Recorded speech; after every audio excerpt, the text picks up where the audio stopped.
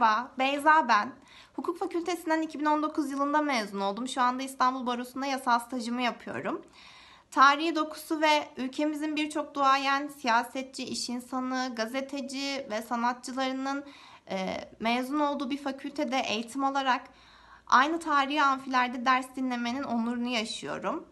E, Türkiye'nin en geniş ve en kaliteli akademik kadrosundan hukuk eğitimi almak ve zengin kütüphane kaynaklarından e, yararlanma fırsatı bulduğum için çok şanslı olduğumu düşünüyorum. Bunca yıllık tarihin, bilgi birikiminin ve e, değerli kişilerin e, yuvası olan İstanbul Üniversitesi Hukuk Fakültesi'nin mezunu olmanın aynı zamanda yılların emeğinin bir göstergesi olarak duvarımda asılı olacak olan diplomanın verdiği gurur ve onuru sizlerin de yaşamasını dilerim.